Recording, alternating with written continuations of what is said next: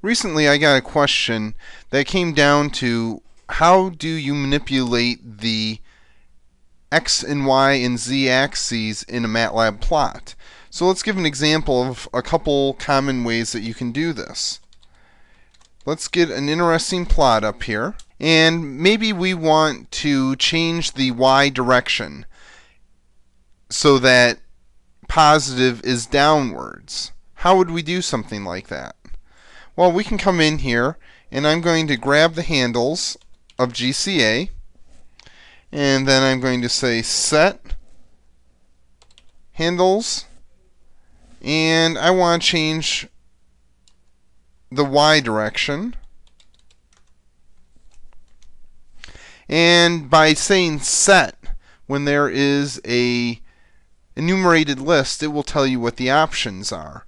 So we can say set HA Y direction to be reverse. Like this. When we look back,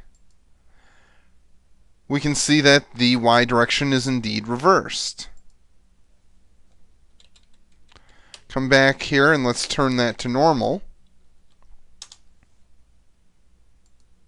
And we're back. What if we wanted to change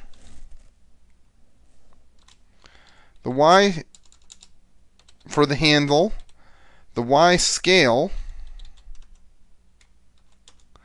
we can see we have choices of linear and log. So I'm going to change that to a log scale.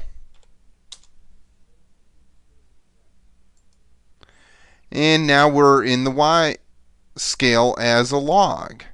So that's as easy as can be to change some of these properties around. Now, how did I know y direction and y scale? Well, it's all in the documentation, but one of the easiest things to do is just say get on the handle of interest. And looking through here, you can see there's a lot of different properties. And so there is z direction, we can guess what that is, and so on. So that should get you through changing a lot of the properties, not only on an axis, but also on a figure or even a line.